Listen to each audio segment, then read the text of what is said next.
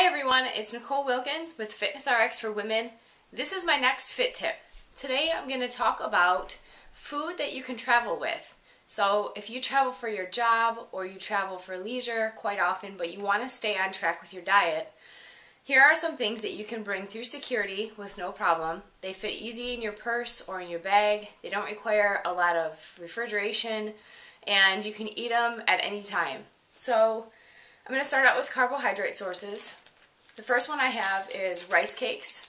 Now rice cakes come in all different flavors and obviously if you have the caramel ones there is some more added sugar but these are just plain salted. Uh, I like to you can eat them plain or you can add a little bit of peanut butter.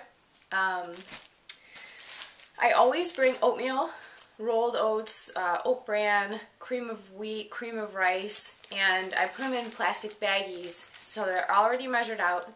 All I need to do if I'm staying at a hotel, just use the coffee maker to make hot water and then um, let it sit for a little bit so that the oats absorb the water and there you have oatmeal.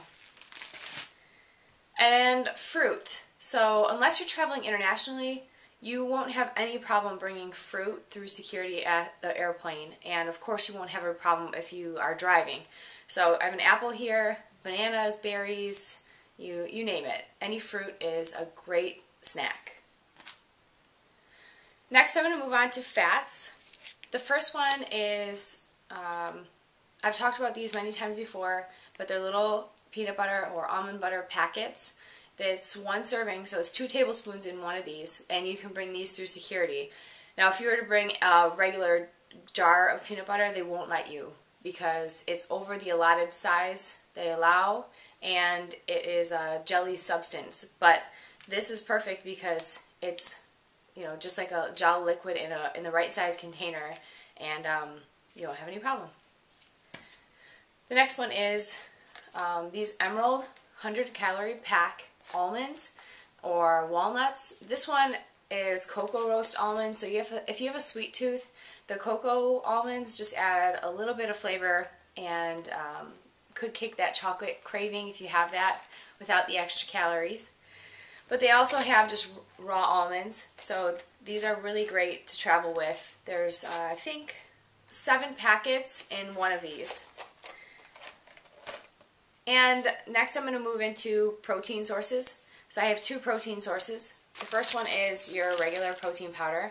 And if you have a shaker bottle, use the shaker bottle just or an, a half empty water bottle. I just roll up a piece of paper like a funnel and then put it in the water bottle, shake it up and drink it as you go. This is also great for any time of the day. So for breakfast you have your oatmeal that you made with a coffee maker and you have your protein source with protein powder in a water bottle or a shaker bottle. And tuna in a packet. Now tuna is something that they normally won't allow through security because uh, of the water in it. But if you have the packets of tuna, if you're traveling internationally too, I always pack these in my suitcase or um, I put them in my purse. These are totally fine and mess free. And then the last one I have is just a vegetable.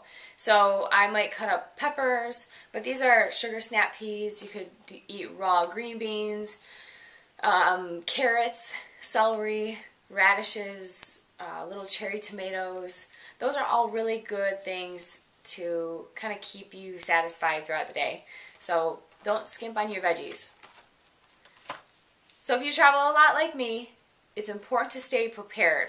You must always have something with you at all times to prevent vending machine slip-ups and um, you know making sure that you stick to your goals. So hopefully those ideas give you something to think about the next time you're traveling. Until next time, this is Nicole Wilkins with Fitness RX for Women. Keep living the fit life.